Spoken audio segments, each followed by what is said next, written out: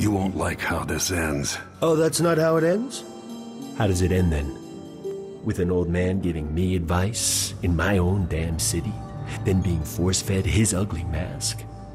Because that sounds like something I'd like a lot.